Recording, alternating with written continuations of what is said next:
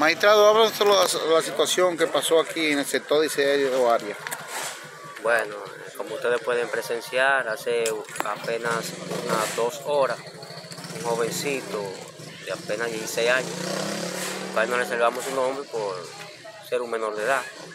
Eh, aparentemente, aparentemente, porque estamos en un hecho que se investiga, eh, se quitó la vida con un arma de fuego, pero eso es preliminar, eso todavía no es nada definitivo.